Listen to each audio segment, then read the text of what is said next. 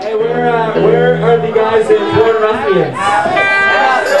You're in this band now. You gotta come play on every song. You guys are awesome. Or else we're never playing a show with you ever again. Ever. Forever.